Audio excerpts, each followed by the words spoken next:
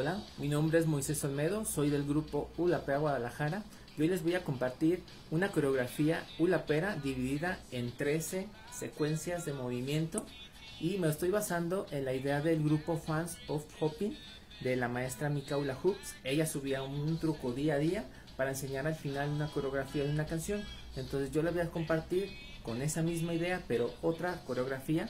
La coreografía es la que están escuchando de la música de fondo yo la dividí en secuencias de 8 tiempos y hoy vamos a iniciar con la primera secuencia de 8 tiempos. Yo voy a utilizar un aro grande, es un aro de 3 cuartos, pero si tienen un aro más delgadito también lo pueden utilizar.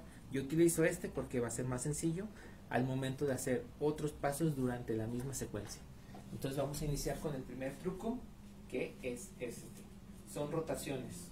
Lo vamos a hacer tres veces.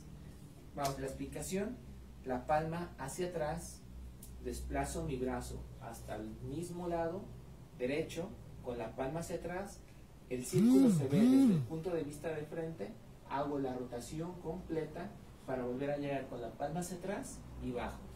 Se sigue viendo el círculo, el círculo, el círculo, palma hacia atrás, mano derecha, rotación y bajo. Esto lo hago tres veces y en la tercera quedo aquí.